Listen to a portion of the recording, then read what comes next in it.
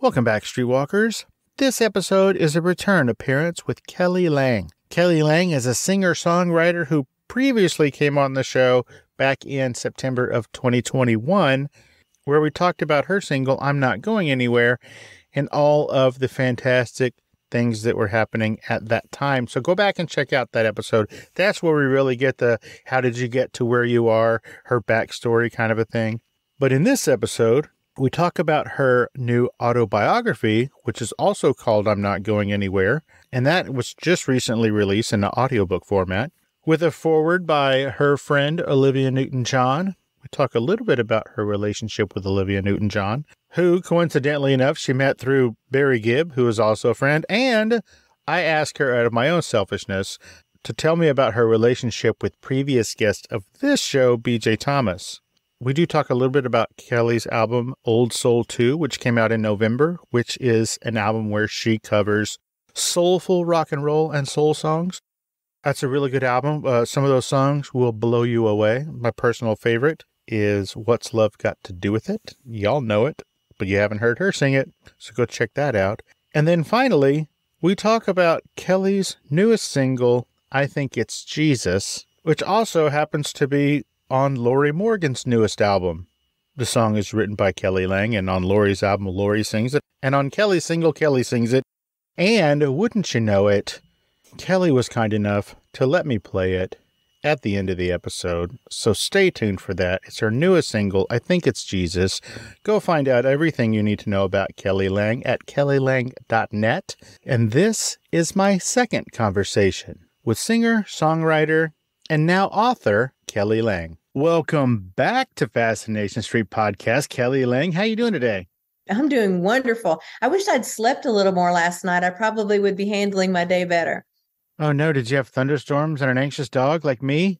I am the anxious dog. I just had so you know how you you know you got to get up early, you know you got a lot on your plate. That's when you can't sleep. It's like everything was like piling up in my brain and and uh, just haven't had chance to sleep today, but I'm good. I'm actually having a really good day. Well, that's awesome. And I think it's really sweet that you couldn't sleep because you were so excited to come back on the show. That's exactly what it is. Ladies and gentlemen, this time we're not going to do the backstory and the get to know how she got to where she is. You can check that out on her previous appearance of Fascination Street podcast, which came out almost two years ago, September of 2021. Yeah. So go check that out. That's where we dig into her backstory. This time we're going to talk about some things that are kind of sad and some things that are super cool. First, Kelly, I know that the last time we spoke, you had a single called I'm Not Going Anywhere. Yeah. You don't know this, nor should you. I have had a lot of music on my show. And so all of the songs that have been on my show, I made a little personal playlist that is just on my phone and on a, my Sonos in my house. And every time that that song comes into the rotation, kind of stop what I'm doing. I think about some of the people who have been in the position that you were that you had a friend in when you wrote the song. Did that make any sense? Yeah, I think yeah. about the roots of that song basically and some of my connections to it.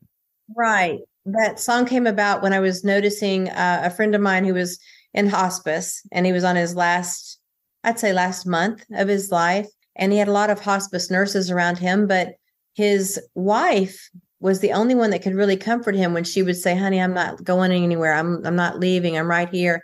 And he just softened, and his face softened, and it just it seemed to take a lot of the fear uh, out of that transition for him. And I just felt that that was really important for us. And 16 years after I wrote the song, who knew that Ascension Hospitals would pick it up for their national campaign, and then even further that who would have ever guessed us going through a pandemic? I mean, having to leave our loved ones in nursing homes and hospitals and you know the losses that so many people endured was overwhelming and i've had so many really really lovely letters written to me saying that that song helped their family comfort them or gave them something to talk about to their loved one that they were they would be back and remember kelly's song i'm not going anywhere I'm just a tiny part of the feelings and the and the love that I received back from that. I, I just I felt very honored to have held the pen to have written such such a song that would be of comfort.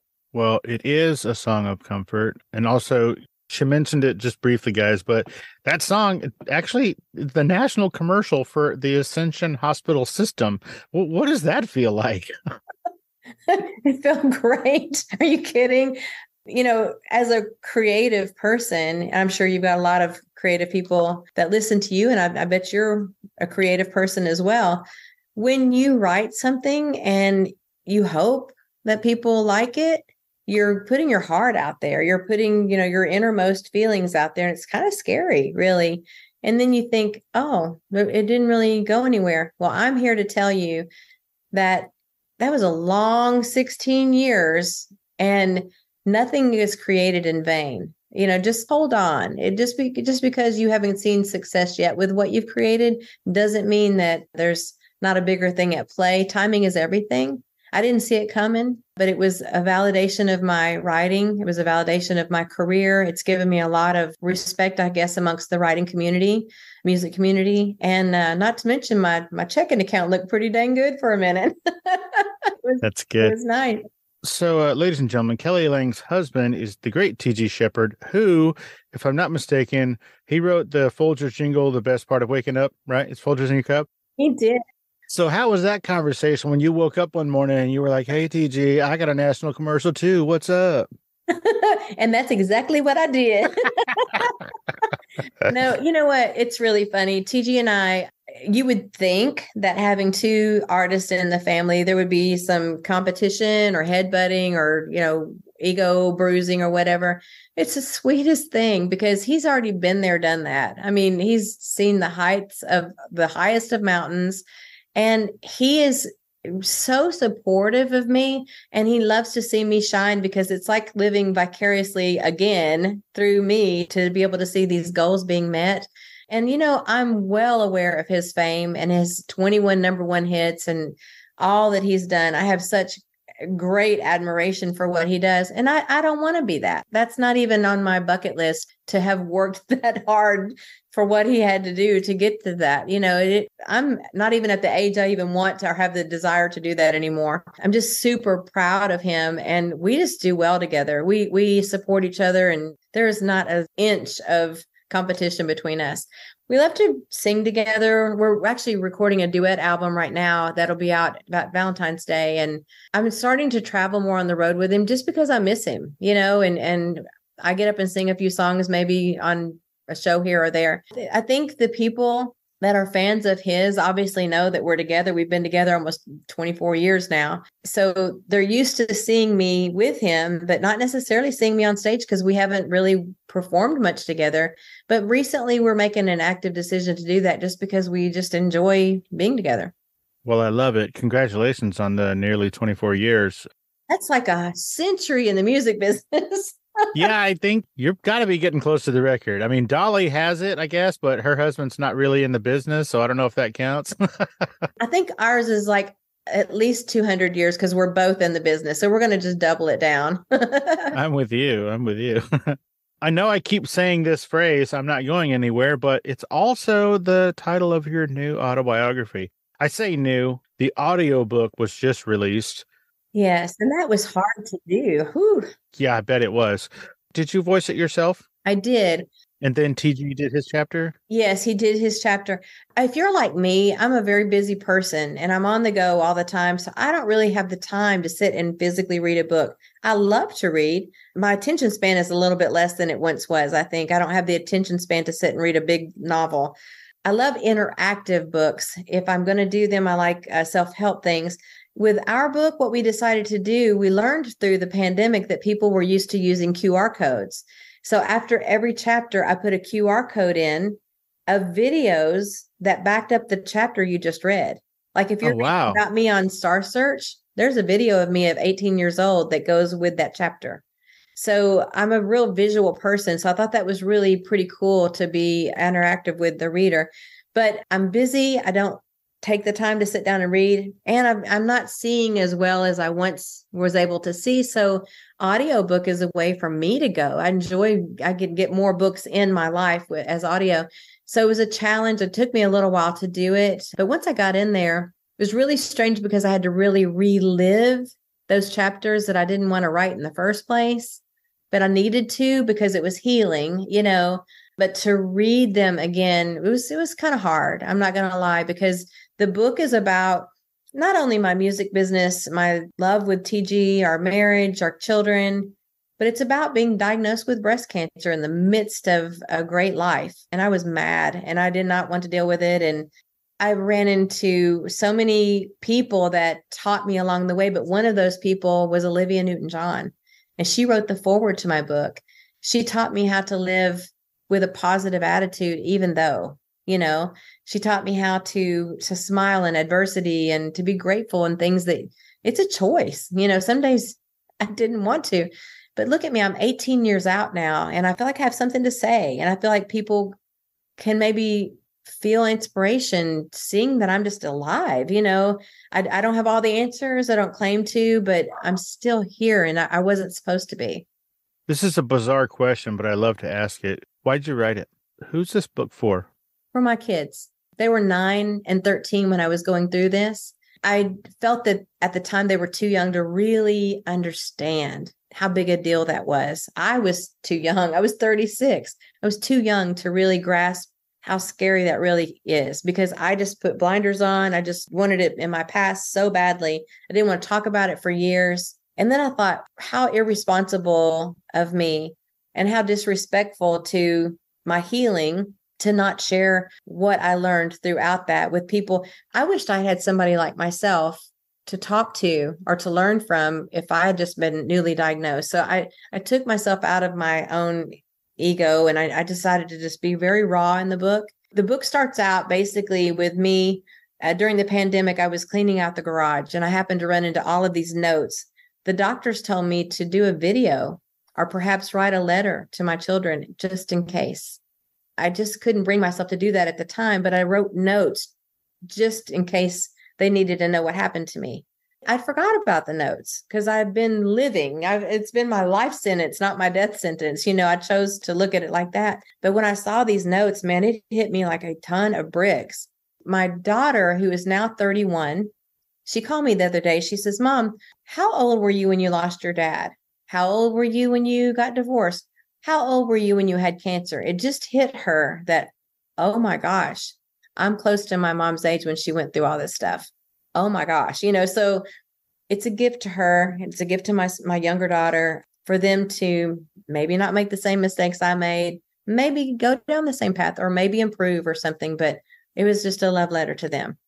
At the very least, get to know you a little bit better, right? Yeah, because you know, us as kids, we think, yeah, I'll talk to mom tomorrow. I'll talk to her, you know. You don't really know the full heart of your parents unless you just sit down and and read about it. And none of us really ask those kinds of questions of our parents or anybody, really. No, we don't. And this is a very hard to read book. I don't even know that my kids will ever read it. It's a hard thing. However, the beautiful thing I, I love about the book, and I love having written it, is it was like an elephant off of my chest. Once I wrote it, I was able to go, okay, now what? You know, it's like it was something that was in my past, but it clearly does not define me now. And I think that's the bigger lesson that the girls can take from that because they've seen me thrive after this. I, I'm not letting anything get me down. That was that was the biggest lesson. And you know, there's ups and downs.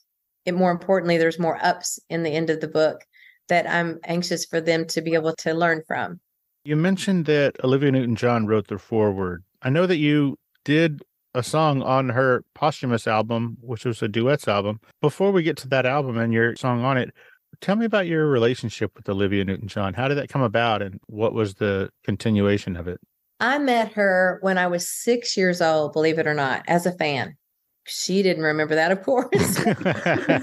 she was already Olivia Newton John. She's like, oh my God, you look so familiar. yeah, like, oh, wow, you're that fan. Hmm.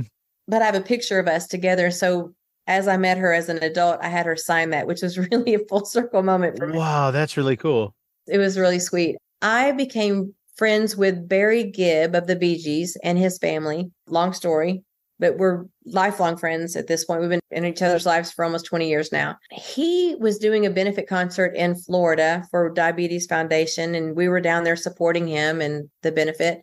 He forgot to tell me that he had invited Olivia Newton John in to sing a duet with him because it's just like drinking water to him, you know? So I'm sitting at their family table and all of a sudden she comes up and taps me on the shoulder and wants to know if she can sit with me. And I'm like, I, I, I didn't know what to say. I was just like, oh, I'm speechless. Sweetest person, so down to earth.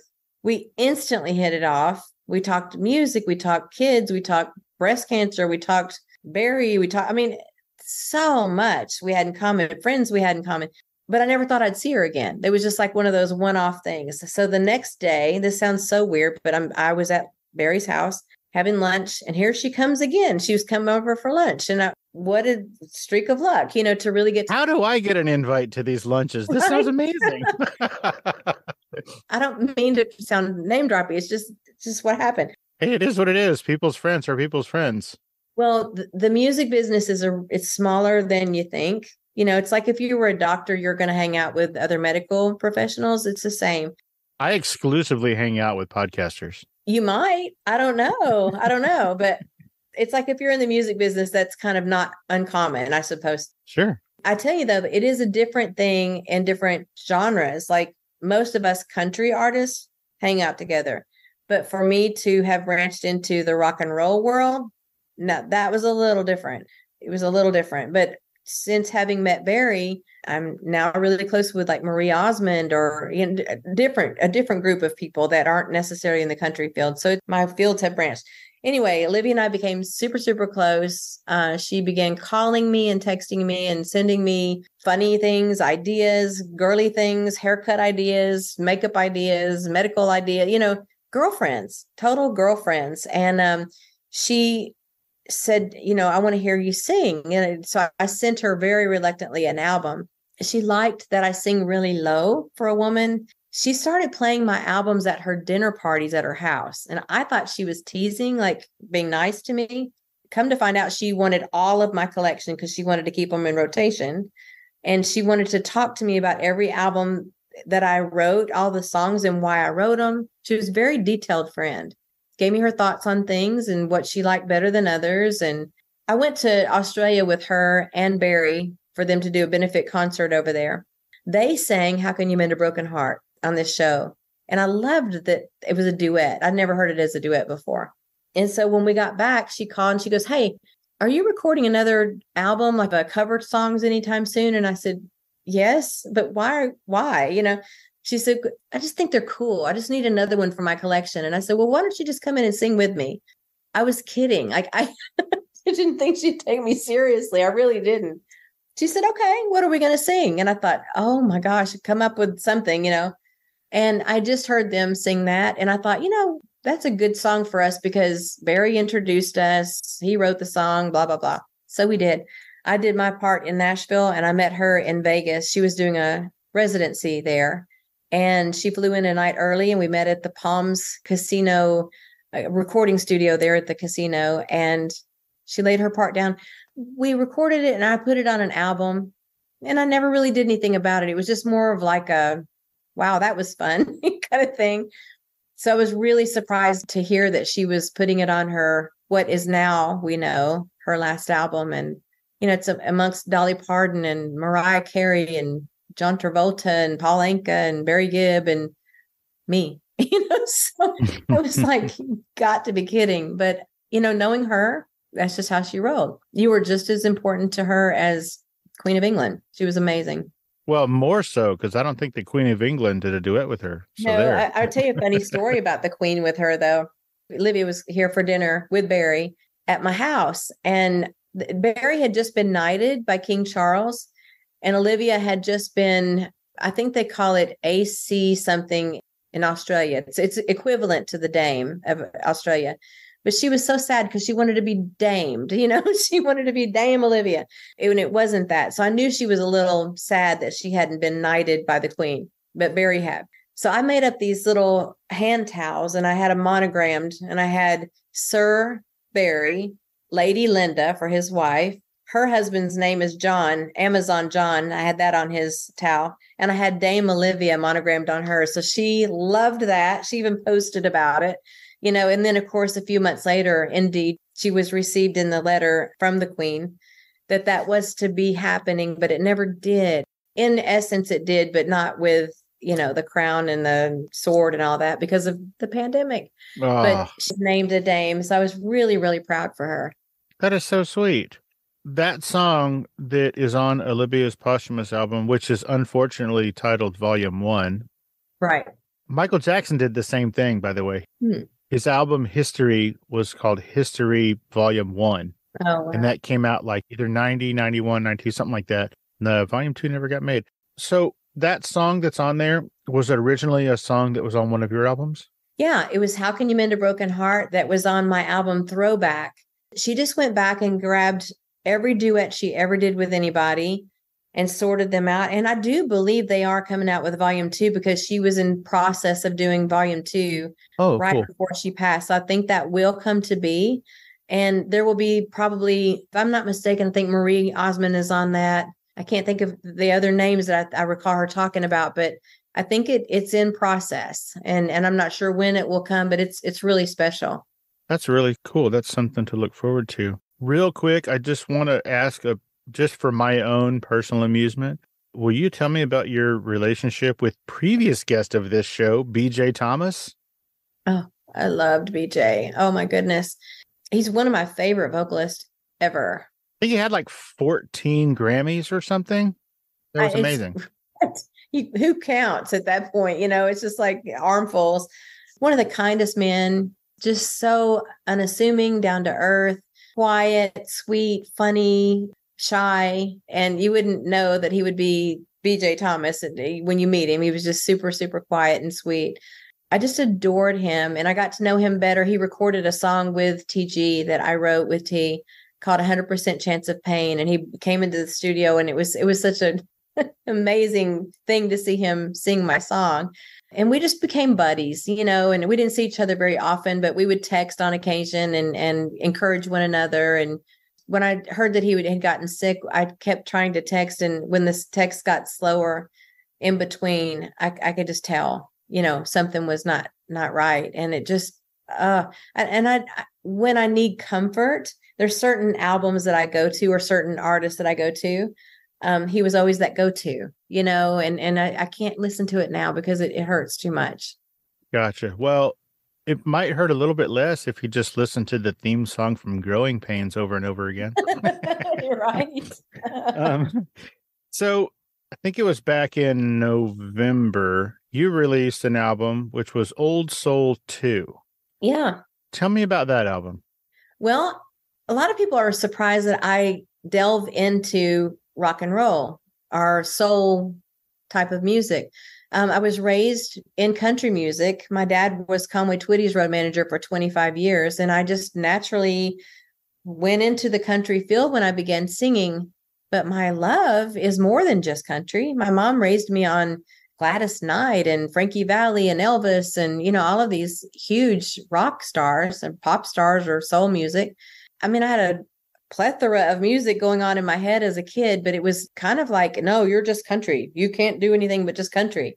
I thought that was so limiting, you know. I'm just great music is great music to me. And so when I got to a place in my life where I wasn't held down by a label's constricts on that, I thought, you know, I'm going to do what I want to do. I want to sing what I want to sing and what, what I really enjoy. And, you know, during the pandemic, we were all searching for something safe, you know, like, like what can we go back to that was better than this, you know? And, you know, you would still hear those songs in the grocery stores or getting your car washed or whatever. They're still in the tapestry of our music every day. Things like, you know, Sting and, and Missing You and Midnight Train to Georgia. These are songs you still hear on the radio. But I just, out of honor from my mom, she raised me on these. I just did Old Soul One as a gift to her. But I had such a blast. And I noticed people were really resonating with going back to a safer, more fun time in their lives. These music sparked memories, you know, for them. So I ran out of room on Old Soul One.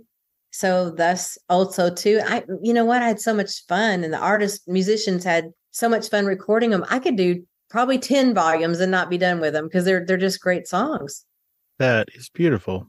I particularly like What's Love Got to Do with It. That's a really beautiful. Oh, It's it's well done by you. Great job. well, thank you. Thank you. You're welcome. You have three songs that you wrote that are on Lorrie Morgan's newest album, and one of them, I think, is also your newest single. I think it's Jesus. Am I right? You are. I actually wrote this song and I pitched it to Dolly Parton first. And I was waiting to hear back from Dolly. I said, Dolly, I really would like for you to do this more than anybody. If you are interested in that, please let me know. And if not, I'll, I'll pitch it to other people. But I wanted to give you the first shot. So I was waiting to hear back from her. And Lorrie heard it and she goes, I'm cutting that song. And I'm like, whoa, whoa, you know, I'm waiting on Dolly. She goes, nope, I'm cutting it. And I said, oh dear, okay. But you know the way I look at it is I love to hear different versions of the same song from different people. Like, you know, do you remember when LeAnn Rimes and Trisha Yearwood did How Can I Live Without You? Of course. on the charts at the same time. There's enough room for everybody, you know. So, and my intention was always to put my version out from the songwriter perspective, you know. And I'm not putting it out for I'm not chasing radio charts. I'm I'm not I'm in my own lane from a writer's perspective. Lorrie is Lorrie Morgan. She's on a pedestal as far as I'm concerned. And, you know, I'm sure fans would want to hear both versions. So I'm excited to share both versions with people. Dolly Parton ended up writing me a lovely letter and said, Kelly, this song is amazing. When I cut a gospel album, I'm circling back around for that, but I don't want to hold you up. You do what you need to with it. But man, that letter, it gave me such confidence and validation in this song. Uh, so I'm I'm really happy to to share that with you because it was it was a life altering letter for a writer. That is really sweet. I'm pretty sure we're distant, distant, distant cousins. Me and Dolly. My last name is Owens, and that was her mother's maiden name. Oh and, yeah, yeah. And supposedly my people are from Tennessee. It doesn't matter. But one of the other songs that that sort of fits in that same category is the Garth Brooks song "Shameless," which was released like two years earlier by Billy Joel. yeah. And yeah. I, I like like you said, people love to hear songs by different people and um in you know different arrangements or whatever. I'm gonna ask you for one favor. It's okay if you say no. As we're heading out, can I play I think it's Jesus? Can I play your new single? I would love for you to. It's about a human spiritual connection we all go through. We all get chills on our arms. We all get lumps in our throats. We all see random things in life and we go, is it a coincidence? I think not. You know, so I'm just trying to put a name to this and and to unify us and connect us.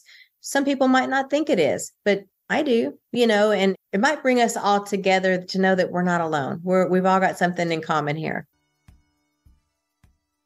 I love that. Thank you.